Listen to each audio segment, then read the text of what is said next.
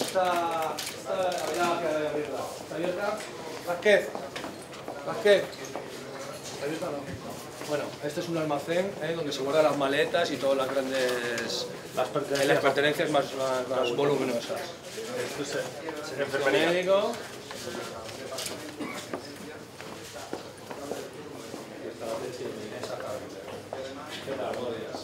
Cuidado que cierro. Es eh, María Ángeles, eh, directora médica de Sermedes, doctora Diana eh, y la enfermera Susana. Ellas son las que prestan el servicio diariamente aquí y ella es la directora médica de Sermedes eh, a nivel nacional. eh, la- Llevamos todos los días. Exactamente. El servicio de servicios. El servicio todos los días, el servicio médico de todos los días. Bueno, incidencias, todas las habidas y por haber. Todo el mundo quiere ser examinado, ¿eh? Bueno, porque se hace el examen inicial, ¿no? sí, a Exactamente. la Pero luego llegada aparte- se hace un reconocimiento de ingreso, vamos a un reconocimiento de ingreso. estás? Hola, buenos días. Y después, y después ya la consulta es a petición propia o bien porque se quiere hacer algún seguimiento en consulta y se investiga. Bueno, tenemos dos, dos habitaciones de aislamiento, pero no tenemos eh, visión interior.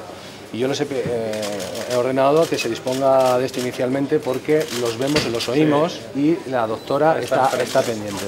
Entonces eh, no hay ningún mobiliario porque cuando la ha habido además lo han destrozado.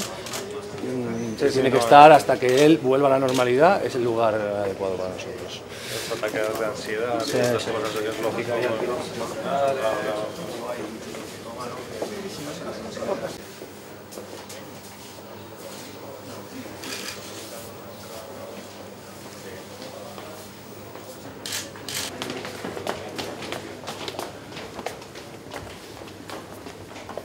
policía ahí toda la noche, ¿eh? cuando se pide el lavabo, se entra y ya está.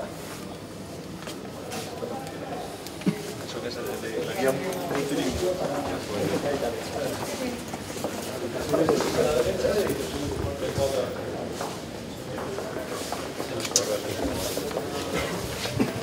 Estas son sábanas rojas. Lo utilizan ellos como las sábanas como utiliza. Aquí hay diferentes.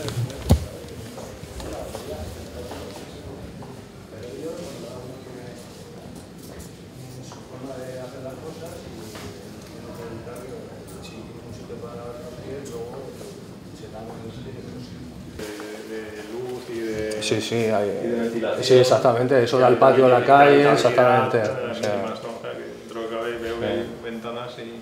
No, no, la verdad es que... esto nos han arrancado alguno, que es una barbaridad, y son capaces de ¿El- el lavabo? Sí, sí, sí, Claro. sí, sí, sí. Se inundaron una habitación. Claro, al no haber cámaras, eso tiene que ser porque alguien... Claro, no se oye el ruido. No hay, Sí, pues sería... Luego el temor también a que cuando hay un incidente, cuando hay cámaras, entrar los policías o no, o decidir en qué momento se entra o no, cuántos policías entran o no, para que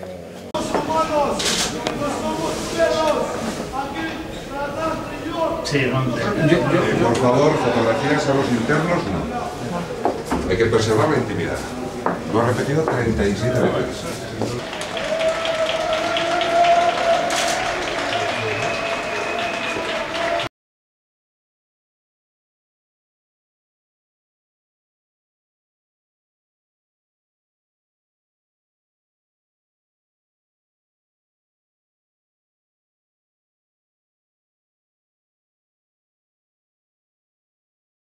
¿Estos son módulos de celda? Estos módulos de habitaciones, eliminemos el concepto de celda que todavía no existe. Todavía, ¿no? El reglamento... No digo todavía porque, bueno, yo no se contempla por ningún sitio que esto se le llame. Es difícil concebir habitación lo que hay detrás de una reja, ¿no? Pero bueno, es así.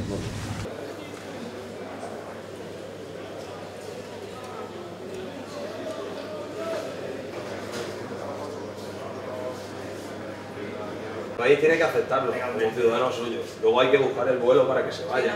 Ahí lleva unos trámites y el, todo el papeleo de jugar.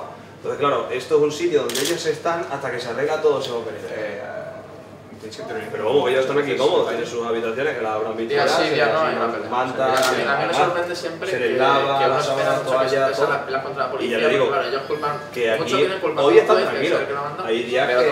claro, hoy a están juez, que Están tratando como los pueblos a cuidar de los pueblos. ¿Vale? Respecto a las denuncias de maltrato, usted sabe que las denuncias se pueden cursar a autoridad judicial y la autoridad judicial automáticamente las investiga. Con el correspondiente parte de lesiones, el forense examina al presunto lesionado y en su caso incoa el procedimiento el fiscal y el juez, con lo cual eh, aquí sí que quiero apelar a la tranquilidad de la ciudadanía porque en los centros de internamiento desde luego eh, no hay maltrato y si se da alguna eventualidad o denuncia se investiga a fondo.